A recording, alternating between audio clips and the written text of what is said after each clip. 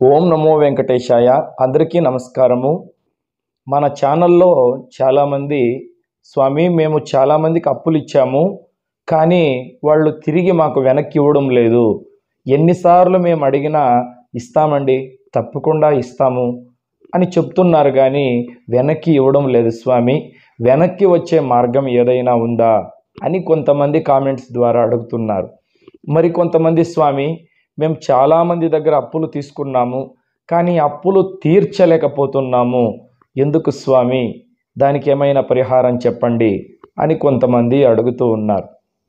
ముఖ్యంగా అప్పు అనేది ఒక పెద్ద ముప్పు అండి. పెద్దలు ఏమంటారంటే అప్పు లేని కూడు చిప్పడైనను చాలు అన్నారు.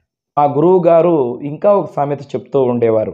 అదేమిటంటే సంసారానికి అప్పు పెట్టడం కంటే నిప్పు పెట్టడం మేలురా అనేవాళ్ళు. ఎందుకంటే నిప్పు పెడితే ఒకేసారి కాలిపోతుంది కానీ అప్పు పెడితే జీవితాంతము కూడా ఆ చింత మన శరీరాన్ని కాల్చేస్తూ ఉంటుంది. ఇదే నీతి శాస్త్రంలో కూడా చెప్పారు.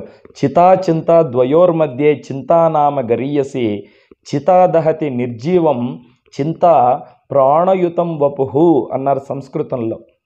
ఏమట్లంటే చితాచింత ద్వయోర్ మధ్యే. చిత అంటే మనం చనిపోయినప్పుడు పెట్టేటువంటి చితి అగ్ని అన్నమాట. చింత అంటే మనసులో ఉండేటువంటి బాధ.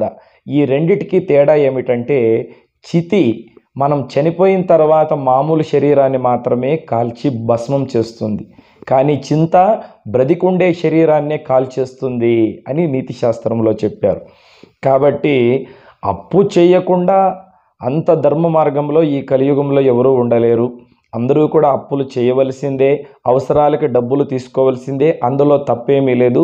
కానీ మనము అప్పు అనేది తీసుకున్న తర్వాత తప్పకుండా తీర్చాలి. అందుకే అప్పు లేనివాడు అధిక సంపన్నుడు అంటారు. లక్ష్మీదేవిని చాలా జాగ్రత్తగా మనము దాచిపెట్టుకోవాలి. నమ్మకం లేనటువంటి వాళ్ళకి ఎటువంటి పరిస్థితుల్లోనూ ధనము అనేది ఇవ్వకూడదు. ధనం మూలం ఇదం జగత్ కదా. ధనము మనిషికి ఇంధనం లాంటిది. ధనము మన దగ్గర ఉంటే స్నేహితులు చుట్టాలు అందరూ కూడా మన దగ్గరికి వస్తారు. ఎప్పుడైతే మన దగ్గర ధనము అనేది ఉండదో అప్పుడు ఎవరూ కూడా మనల్ని పట్టించుకోరు. కాబట్టి ఈ ధనము మానవుని జీవితంలో ఇంత ప్రధానం కాబట్టి అప్పు ఎప్పుడు ఇవ్వాలి ఎప్పుడు పుచ్చుకోవాలి అనేటువంటి విషయాలను ఇప్పుడు తెలుసుకుందాం. ముఖ్యంగా అప్పు ఏ రోజు మనం తీసుకోకూడదంటే మంగళవారము పొరపాటును కూడా ఎవ్వరి దగ్గర మనం అప్పు పుచ్చుకోకూడదు. ఎందుకంటే మంగళవారానికి అధిపతి అంగారకుడు. మనం మంగళవారము తీసుకున్నటువంటి అప్పు తొందరగా తీర్చలేము మళ్ళీ మళ్ళీ మళ్ళీ మళ్ళీ అప్పులు చేస్తూనే ఉంటాం. మంగళవారం చేసినటువంటి పని మళ్ళీ మళ్ళీ చేస్తారు అని పెద్దలు చెప్తూ ఉంటారు. కాబట్టి మంగళవారం ఎటువంటి పరిస్థితుల్లోనూ ఎవరి దగ్గర అప్పు తీసుకొనకూడదు.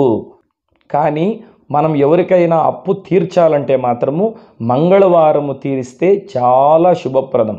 ఎవరి దగ్గరైనా మనం ఒక పదివేలు తీసుకున్నాము మంగళవారం వాళ్ళకి తిరిగి ఇచ్చేస్తే తొందరగా మనం చేసినటువంటి అప్పులన్నీ మెల్లిమెల్లిగా మెల్లిమెల్లిగా తీరిపోతాయి అని పెద్దలు మనకు చెప్పి ఉన్నారు. మరి మనం ఎవరికైనా అప్పు ఇవ్వాలంటే బుధవారము శుక్రవారము ఎటువంటి పరిస్థితుల్లోనూ మనము అప్పు అనేది ఎవ్వరికీ ఇవ్వకూడదు. శుక్రవారము చాలామంది అప్పు ఇవ్వరు కానీ బుధవారం కూడా అప్పు ఇవ్వకూడదు. ఇది పెద్ద రహస్యం అన్నమాట. ఎందుకంటే బుధవారం మనం ఎవరికైనా అప్పిస్తే ఒక పదివేలు అది రావడం చాలా కష్టం. కొన్ని సంవత్సరాలు పీడిస్తుంది అసలు మన దగ్గరికి రాకపోవచ్చు. శుక్రవారము బుధవారం అనేది ఎవరికీ మనము అప్పు ఇవ్వకూడదు. అట్లాగని మన దగ్గర పనిచేసేటువంటి పని మనుషులకు మన కింద పనిచేసేటువంటి వర్కర్లకు నేను శుక్రవారము బుధవారము జీతము ఇవ్వను అని తెలివి తక్కువగా మాట్లాడకూడదు. ఎవరైనా కష్టములో ఉన్నప్పుడు మనం సహాయం చేయవచ్చు. కానీ పెద్ద మొత్తంలో మనం అప్పు ఇవ్వాలంటే శుక్రవారము బుధవారము ఈ రెండు రోజులు విడిచిపెట్టి ఇంక ఏ రోజు ఇచ్చినా కూడా శుభప్రదమే. కొంతమంది స్వామి మేము అప్పు ఇచ్చాము చాలా కాలమైంది అసలు వాళ్ళ దగ్గర ఎక్కువ డబ్బు ఉంది అయినా మేము అడిగితే ఇవ్వడం లేదు స్వామి. అంటే మీరు బాగా గుర్తు తెచ్చుకోండి మీరు బుధవారము వాళ్ళకు అప్పు ఇచ్చి ఉంటారు. కాబట్టి చుట్టాలైనా ప్రాణ స్నేహితులైన బుధవారం రోజు అప్పు అడిగితే లేదు అని చెప్పండి రేపు రమ్మని చెప్పండి. శుక్రవారం రోజు బుధవారము అసలు అప్పు అనేది ఇవ్వకూడదు. ముఖ్యంగా లక్ష్మీదేవిని ఎవరు గౌరవిస్తారో వాళ్ళ దగ్గర లక్ష్మీదేవి సదాకాలం ఉంటుంది. కొంతమంది రే నాకు అసలు డబ్బు అంటే లెక్కలేదురా. డబ్బు కుక్క కూడా సంపాదిస్తుంది. నేను మనుషులకే విలువిస్తాను. డబ్బుకి నేను విలువివ్వనురా అని పొరపాటున మాట్లాడుతూ ఉంటారు. అలా లక్ష్మీదేవిని ఎవరైతే తక్కువ చేసి మాట్లాడుతారో వాళ్ళ దగ్గర లక్ష్మీదేవి ఉండదు. ఇక రెండవ విషయం ఏమంటే డబ్బు లెక్కించేటప్పుడు చాలామంది ఇలా ఎంగిలి అద్దుకొని ఆ నోట్ల కట్టలు లెక్క పెడుతూ ఉంటారు. పొరపాటును కూడా నోట్లో ఎంగిలి అద్దుకొని ఆ డబ్బుని మనము లెక్కించకూడదు.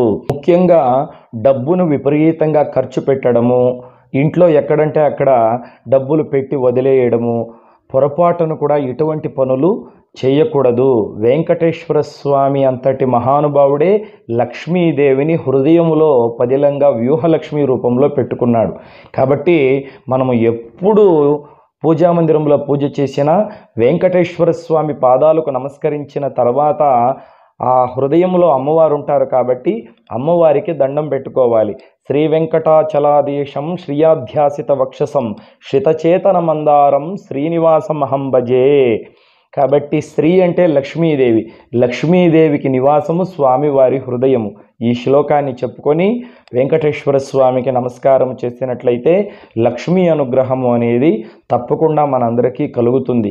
కాబట్టి ఈ వీడియో మీకు నచ్చినట్లయితే తప్పకుండా లైక్ చేయండి. మీరందరూ బాగుండాలని మనస్ఫూర్తిగా కోరుకుంటూ లోకా సమస్త సుఖినోభవంతు స్వస్తి.